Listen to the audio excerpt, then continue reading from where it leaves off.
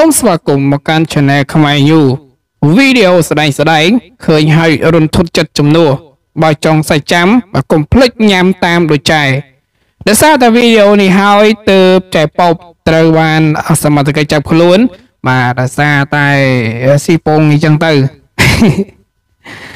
បើវិលមកតាមតាមព្រឹត្តិការណ៍ព័ត៌មានពុស្ដាពេលមកប្រហែលជាបានឃើញព័ត៌មានដ៏ក្តៅកគុកដោយកម្លាំងជំនាញនយោបាយប្រឆាំងទៅនឹងការជួញដូរមនុស្ស និងការពីអនិច្ចជន បានសហការជាមួយនឹងកម្លាំងប្រឆាំងការជួញដូរមនុស្សនិងការពីអនិច្ចជន នៃស្នងការនគរបាល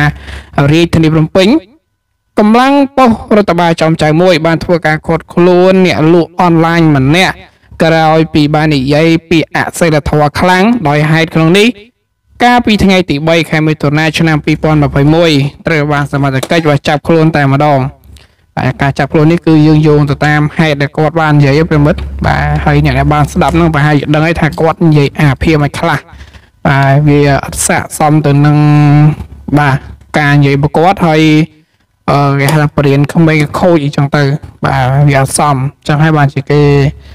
ធ្វើតាមច្បាប់អញ្ចឹងក៏ជឿមិនទៅខឹងគេដែរអរគុណច្រើនណាស់សម្រាប់ការតាមដានទស្សនារបស់ប្រិមិត្តពុកម៉ែបងប្អូនទាំងគ្នាសូមទស្សនារូបភាពដូចតទៅ